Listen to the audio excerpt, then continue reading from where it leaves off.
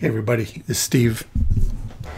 And today we're going to talk about how to do chimneys like this. Once again, inspired by Paul Choate. He always gives me good ideas for videos. So thanks, Paul. And um, it's very simple, but you can get bogged down if you're not up to speed on a few things. So let's get into it and see what we can do. Okay, in this plan, I basically have a basic little two-story house with a roof on it. And um, on the first floor here, I wonder, I, I haven't built the foundation, but let's let's just build a foundation here. Just, okay. So now we have a foundation. Just a crawl. I know all you guys out there in California doing slabs, but here in Indiana we do crawls. So um, what we would do is draw an exterior wall over here. I'm going to go like three by six. And I have automatic roofs on, so I'm going to turn that off and get rid of these roofs. And uh, when you do that, let's just center this in, in the space so we know it's centered on the gable. So this creates a room here. And um, if we copy these walls and we go up a level and use paste and hold position, now we have a room on the second floor. And if we take a look at that, you'll see, and of course Chief is generating attic walls because there's a roof above it. And um, we have our two-story chimney, but we don't have a uh, foundation. So let's just do that and say okay okay now we got a foundation under it and um, so the the catch is what do we do? How do we get this room up here above the second floor? And you might be compelled to just copy these walls here and go up and you'd be on the attic level.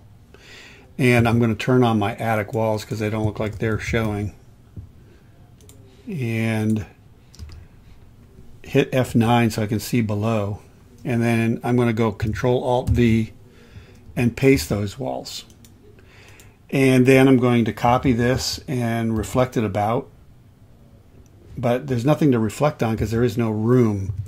So I'm just going to pick up a, a line right there and copy and reflect about just so I can get this wall here. But as you can see, even with a room and all these walls, these are not attic walls, as you can see right here. These are just regular walls, but they don't create a room. And why is that? Well, you cannot create a room on the attic level, no matter what you do. So you're probably wondering, well, what do we do then? Well, you need to build a third floor even though you're not going to use a third floor. So you go here to build new floor and click here, make blank plan for third floor and click OK. Just click OK. Now we have a third floor and we are going to copy these walls right here and go up. Control Alt V for paste and hold position. And then I'm going to take this wall here and I'm just going to pull it around and let's just take a look and see what we got. And we're getting there. Now, the other thing we need to do here is to edit this roof. Use the three key and break it and pull this back. Click here, hit the three key and break it and pull this roof back. And take a look. And uh, we don't need these walls. I, I, I, they were built, I think, because of the way we were we did our attic walls previously. But um, now you got three story chimney in a two story house basically.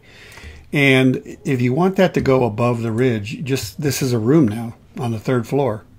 Go to the structure tab and I would just say here on the rough ceiling, just hit plus 36. Click OK. And that didn't work. Why didn't that work? Oh, I'm on the second floor. So we don't want to do that. Why did you let me do that? Hit the wrench and put it to default. Go up to the third floor. Open this room. Hit plus 36. There you go. And there you go. Now we've got a really good looking chimney. Now the other thing you might want to do to make it realistic is open, this is, we're on the third floor. Go to the general tab and make it open below. And I don't like the labels being on, so I'm going to turn that off. And go down to the second floor, open that room, make it open below. Make sure you don't show the label unless you want to. And now if you go here and we look at this, put some shading on, and we look at it in glass house. And there you go. And no floors, open chimney all the way from the first floor. And uh, that's pretty simple. Now there's a couple things. Um, this wall here, you may need to enter the, uh, edit these corners. And there's this tool right here, edit wall layer intersections.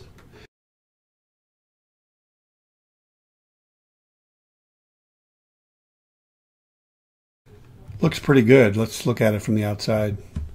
Let's look in standard view. And um, looks good. So that's how you do that. And then, of course, you need to put a chimney cap on.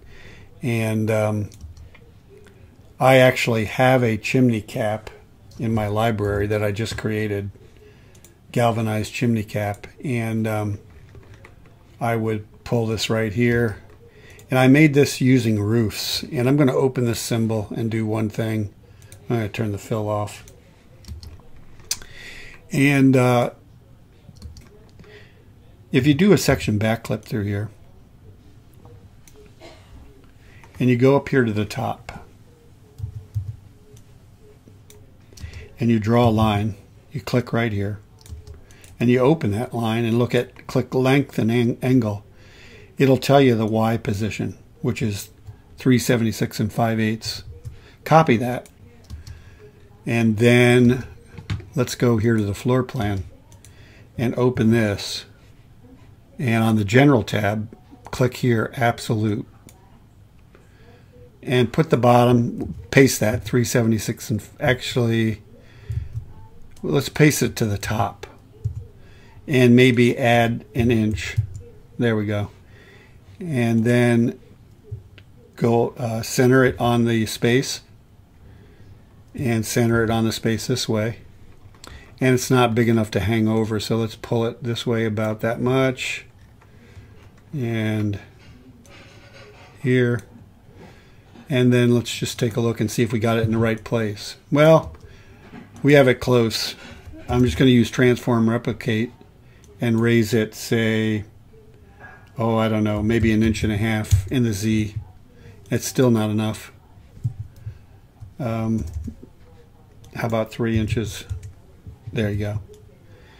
So there's your galvanized roof, and it's it's Z fighting here because it's not long enough. So um, you might, it's a symbol, and you might um, come down here minus 1.5, say, and then center it here and then pull it this way uh, one and just center it here. And now we'll take a look at it. Now it's hanging over and it looks a little more accurate. I actually made this chimney cap if you see it in vector view I made that with uh, roof planes so um, that's another maybe another video on how to make a symbol like that but um, that and then get a uh, chimney cap. How about just chimney? Because it's not a. Let's see what we got. How about like this? So we got this, and we'll open that symbol and we will put it the same dimension here put it here and put it here, center it, take a look at it, see where it is. There it is. So you could probably raise that just a little bit. I use transform, replicate a lot. And there you go. So um, looks like a zero clearance chimney and uh, standard view, it looks pretty good. Foundation. Now, I noticed on Paul's example, he had a step here. So let's just take a look and see how we might do that. I would go down here to the first floor and let's just let's turn on automatically rebuild foundation okay got to go up again I'm sorry and let's pull this out two feet 24 and then we're on the first floor here. Let's turn on F9 so we can see that floor right there. I would just take a CAD box here. And um, oh I don't know. Just do that. Open it. Make the line dashed. And maybe change the line weight to 2 or something. And turn that off. And then use my Q key and draw a roof right here and pull this over pull this over let's just take a look and there you go so uh, pretty simple I mean you might want to change this overhang and maybe not put a gutter on it. I mean, that's all up to you. Um, you might want to even change it and put a metal roof on it, you know, or whatever. You can do a lot of different things. So that's a quick video on how to create a chimney, chimney cap, foundation, what have you. And uh, the key is build a floor. Don't be afraid to build a floor. Just make it a blank floor and go from there. You don't have to drag anything. You can size everything on the third floor. If we go over here to the third floor, um, I've already put the cap on it, but I mean, if you're in here in the room, you can raise or lower the room right here on the structure tab.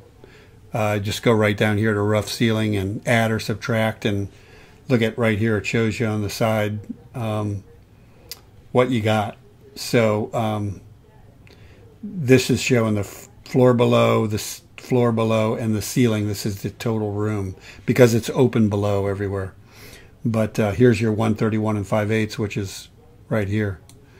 So, and here's your 133 and an eighth, which is right here, your rough ceiling. So, um, so I hope that helps you guys uh, figure out chimneys. And we'll see you next time. Thanks.